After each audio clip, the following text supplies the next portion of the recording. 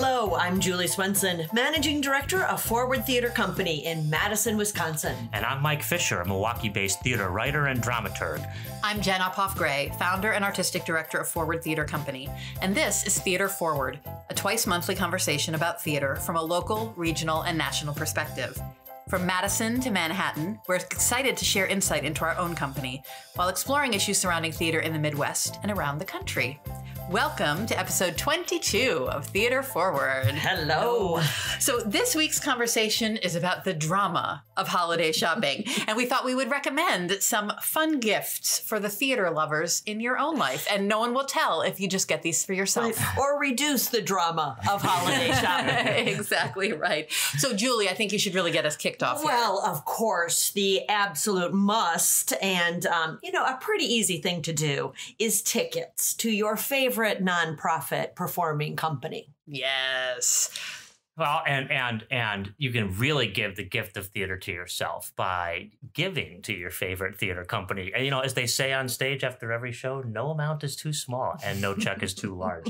Um, I actually wanted to talk about. I want to uh, give a shout out to a fellow advisory company member, Jake Penner, who put me on this summer to a book that I then found on Amazon uh, and and uh, and bought that I absolutely love. It's called The Half: Photographs of Actors Preparing for the Stage.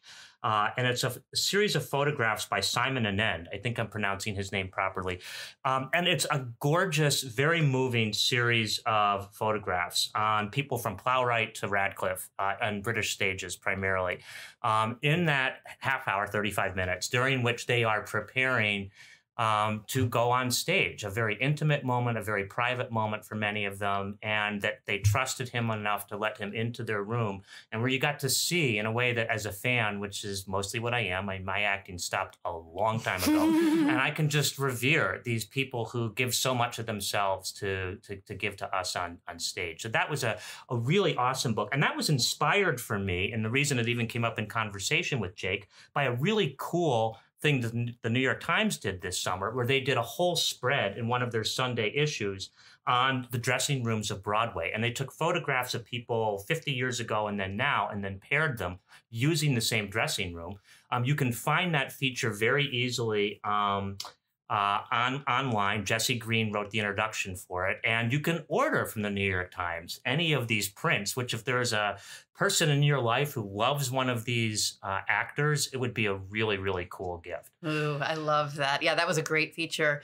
Um, there were a couple of books on my list as well. Um, not not new ones so much as. Uh, um, some of these are actually quite oldies, but very much goodies. Um, it, I'd be remiss if I didn't mention, um, in the year of William Goldman's passing, his remarkable book, The Season, um, in which uh, I think it was, was it the 68, 68, 69 s- season on Broadway? He embedded himself in the Broadway theater business. Everything from stars and writers and composers to group ticket sales brokers and press agents and designers and every possible type of person that would come in contact with the business of Broadway. He spent a year um, embedding himself. And then he wrote this book. And obviously, many aspects of the business have changed dramatically in the ensuing decades. And many aspects of the business have not changed at all he remains, I think, one of the most wonderful um, American writers, especially screenwriters.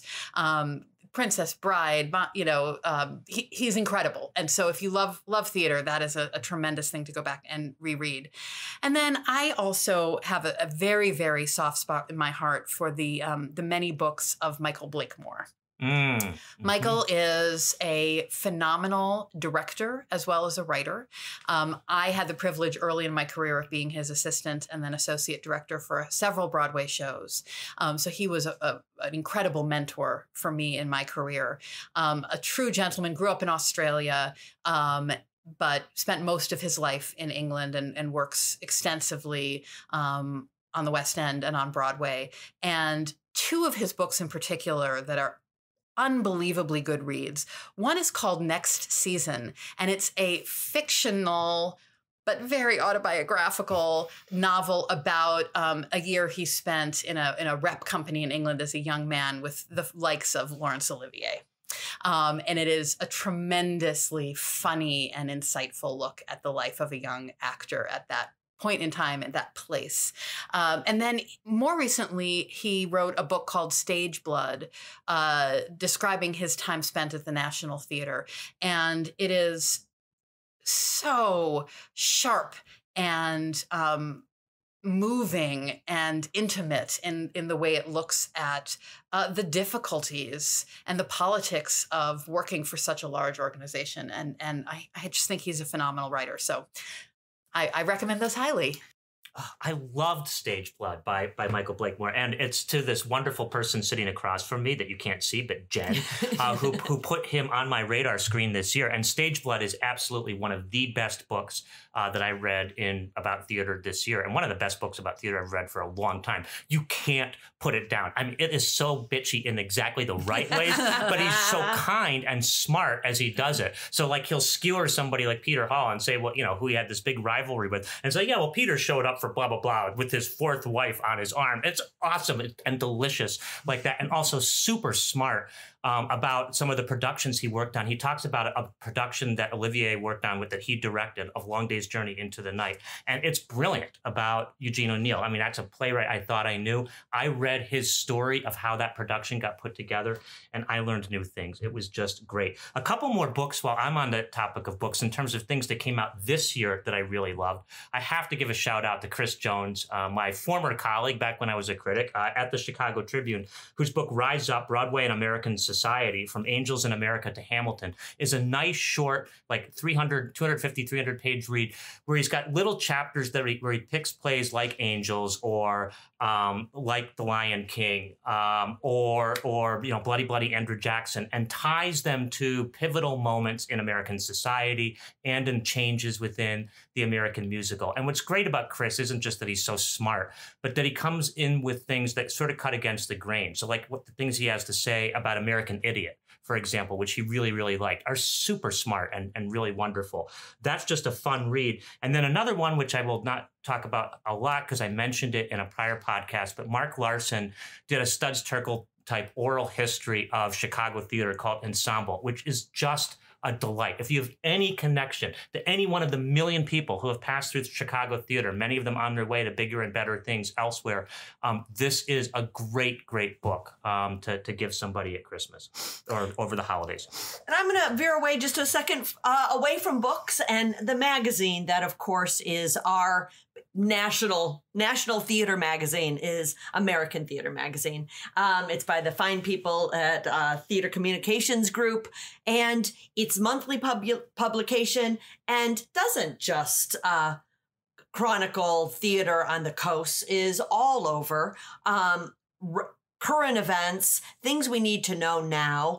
Every other month is a full script um, of the the newest, brightest things that are going on, and it's really a way to keep your finger on the pulse of what's happening in this country.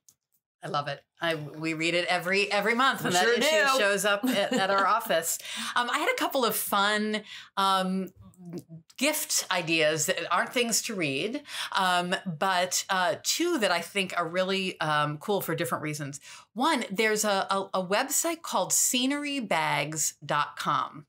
And this artist takes recycled Broadway scenic drops and turns them into little bags. And so you can buy a bag made from a drop from Rocky the musical, or you know, you can go mm-hmm. on their website and see what musical drops they have in stock, and you can purchase little It's bags. fantastic. Isn't that fun? and such a great way to use, reuse it. Yeah. Yeah. So scenerybags.com and see if, if one of your personal, you know, favorite shows happens to be up there. And then one of the theater gifts that I always think of with a lot of nostalgia at this time of year. Broadway Cares Equity Fights AIDS um, sells a lot of different gifts to raise money to support the very good work that they do in the theater community. And one of the things they come out with every year is a beautiful snow globe that has the um, like marquees from all of the currently running Broadway shows. And my mom, when she was still alive, she used to buy those every year Oh. and she's got a whole collection of them that my dad still has in his house. So um, I always think of those quite fondly if you've got someone who's really into the Broadway scene and it supports a good cause as well. Um, speaking of nostalgia and Broadway, I'll put those two together. There's a really cool company called White Mountain Puzzles. Um, and you can actually find puzzles there, which are like a collage of Broadway musicals, thousand pieces. It is just the coolest I've done that thing. one. yeah, right. I mean, they're just they're just great. And another really great thing that's a sort of uh, nostalgic slash um, just fun family uh, thing for me is a game. Um, called Spontuneous, um, which it's, it's it's like a board game. You have to go around in a circle, but it's based on um, uh, picking a word, and then somebody has to sing a certain number of bars. You can be as off key as you want. Believe me, I've played. Um, and and then if you get a, a song and are able to sing a certain number of bars of that song, I think it's eight, then you get to pick the next the next word. The only thing I will warn all listeners who know Ray Jivoff, don't ever play with him. He will destroy you. He knows every song that has ever been written.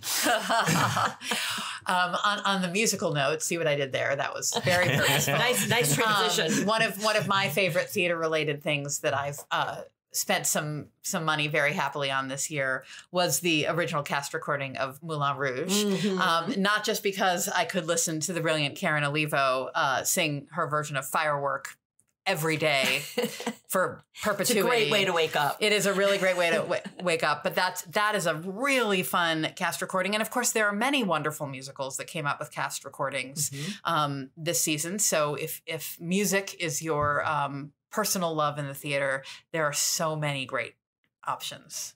And we do love Ben Brantley for including Moulin Rouge in his list of top 10 shows of the year. Yes. It was completely over the top and completely awesome. And Karen was a big, big part of that. That's a great gift. Yeah. Um, speaking of subscriptions, to go back to something Julie said, and here again, I'm going to be wearing my, my former critic's hat, but people, we are living in news deserts now in this country that are growing. I mean, there have been a lot of features on that recently. Subscribe to a newspaper. It's like anything else. You know, when you get those flashy ads from The Guardian or Wikipedia telling you to pay $2.65 and you click right past them because you're in a hurry to read whatever it is you want to read, there is a cost to producing news. And it's like we have an idea in this country of supporting things like National Public Radio. We get that. But we need to be supporting our newspapers. And if we don't, we will not have theater coverage. Um, a really interesting model that just took up the Salt Lake Tribune has just gone to nonprofit status, the sort of first major paper that's trying to do that. We'll see how that works. They got a ruling from the IRS, which is going to allow them to still do a lot of things that normally a nonprofit could not do.